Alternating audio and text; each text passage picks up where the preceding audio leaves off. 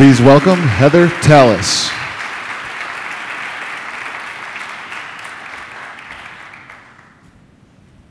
Hello, good morning. Thank you all for coming. I'm Heather Tallis. I'm a lead scientist with the Nature Conservancy, where I work on the human dimensions of conservation. You've heard a lot about that already this morning. And what it means there is that I work across our programs around the world to bring economics and social sciences more into the work of conservation. And that's what I'm going to talk about today, some of the emerging science that suggests we might need to think about nature a little differently than we do now.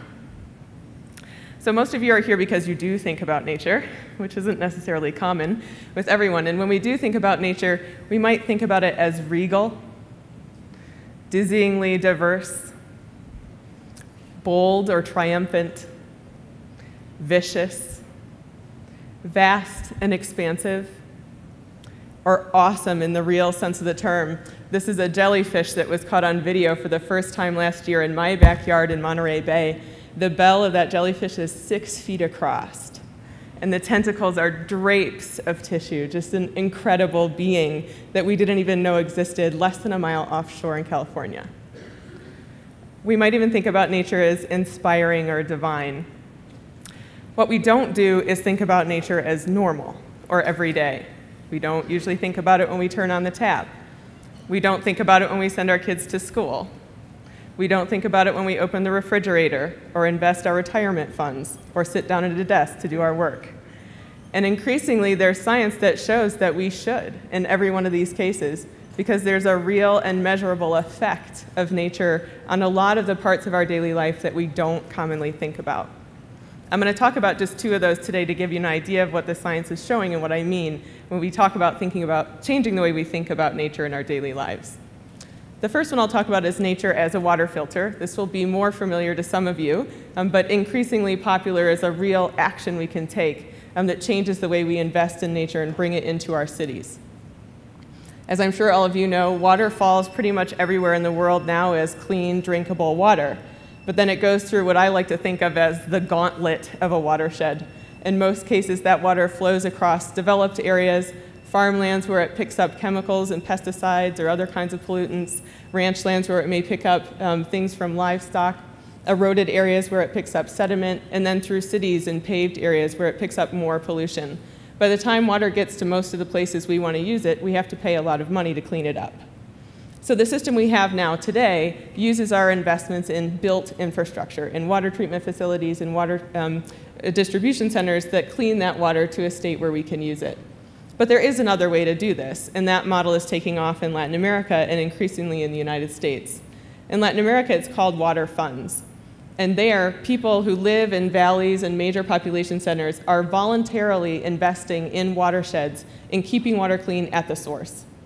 So instead of putting all of our money into built filtration plants, some of that money is going into um, keeping watersheds in better shape. Uh, training farmers and ranchers to use better management practices that lead to less pollution, restoring riparian areas that act as water filters, protecting existing native areas where they are so they act as sponges and filters themselves. What's really fascinating is that this is taking off in a voluntary way across Latin America. There's now over 30 major cities that have voluntarily, again, created water funds. And these range from Mexico City to Sao Paulo in Brazil to Medellin in Colombia. These are not small efforts. These are major water infrastructure investments. And while this is taking off as an idea, um, I want you to see a little bit of the diversity of, of partners that are already involved. There's a lot of public sector investing happening from municipal groups on both a small and a national scale. There's investments from um, international aid organizations and multilateral lenders.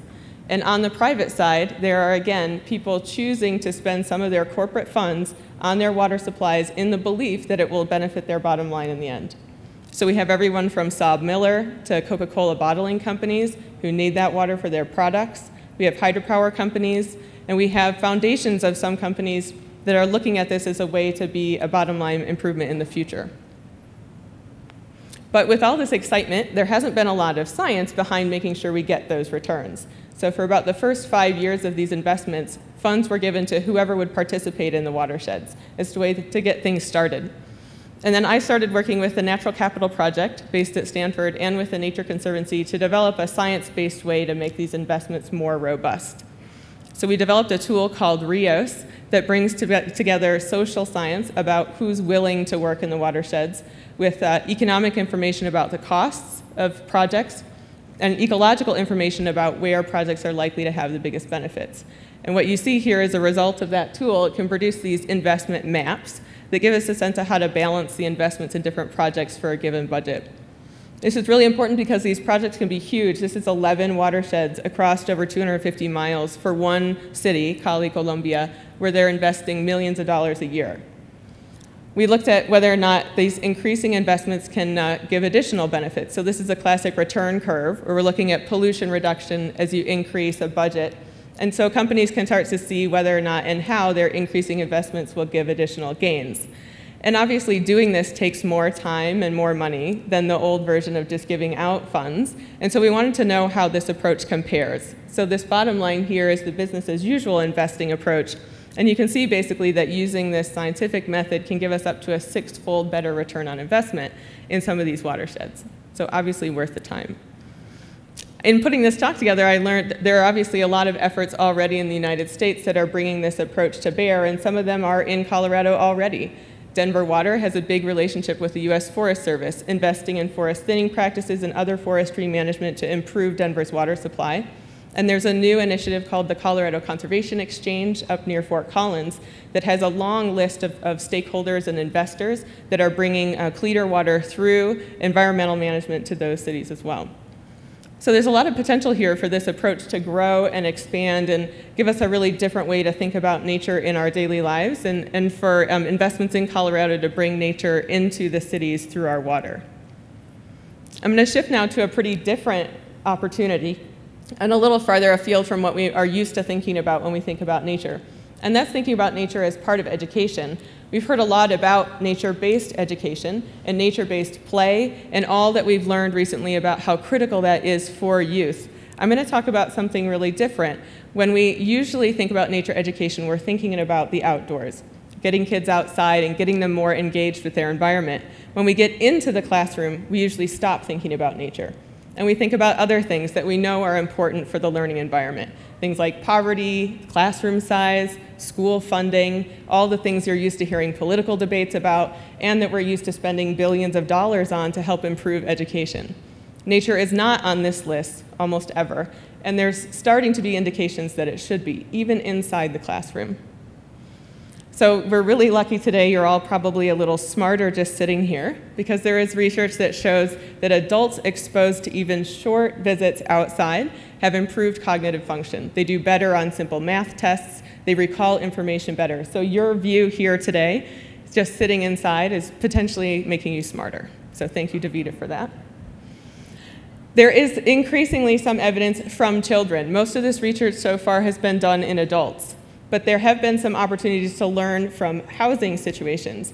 There was a great study that followed a cohort of children who moved from uh, housing complexes that had very built, a lot of city around them, to more greener housing, and compared them to children who didn't move. And those who went to greener surroundings um, were better able to focus their attention and to recall information. These are two traits you should recognize as commonly lacking in ADHD and in a lot of our learning problems in schools to suggest that these kinds of benefits, if they exist in schools, could help students learn. And now finally, there have been a couple of studies in schools. The largest one was in Georgia, looking at 71 schools of fifth graders, and they found a strong positive correlation between greener views and fifth grade test performance. So this starts to suggest that even inside the classroom, there's a connection between your ability to learn and what you see outside and whether or not that's natural. So I'm really interested in this as a possible you know, major conservation strategy and a major opportunity for us to think really differently about how nature matters for education. So we started a study last year that's looking more broadly across five states in the US to ask if this is a widespread pattern, if we see these trends at a major scale.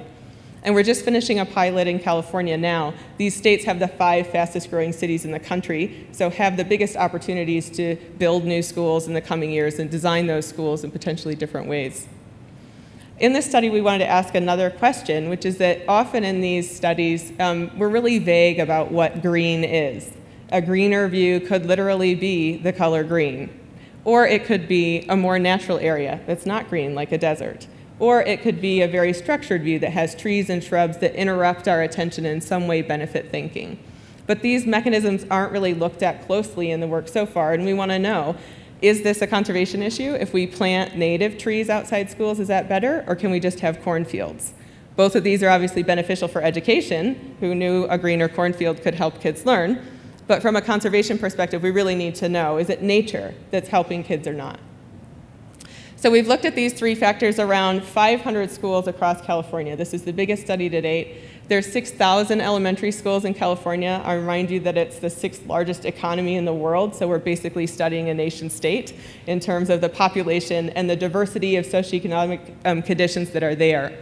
So we've, we've sampled these schools, importantly, across these other things that we know matter. So we're asking if, in addition to poverty and classroom size and level of funding in the schools, nature adds to learning inside the school environment.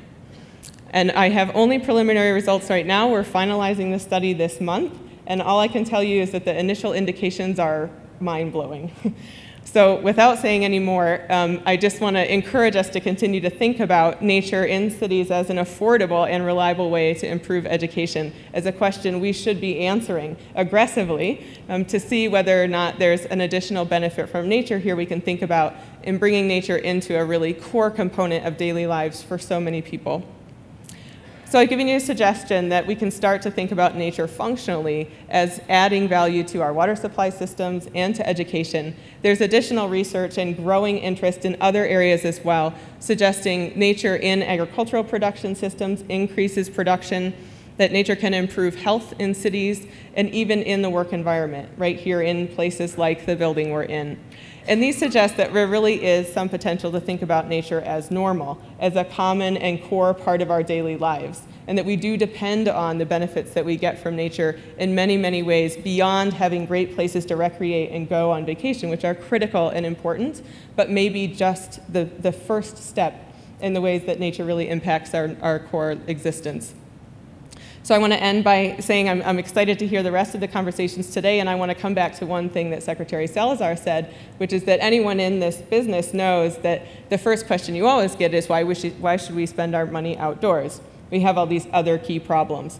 And the point I want to make is that increasingly those problems are connected, and the outdoors coming closer to our daily lives looks like a real solution to things from drinking water supplies to education to health. And so Colorado the Beautiful really may be the same thing as Colorado the Smart and Colorado the Healthy. Thank you.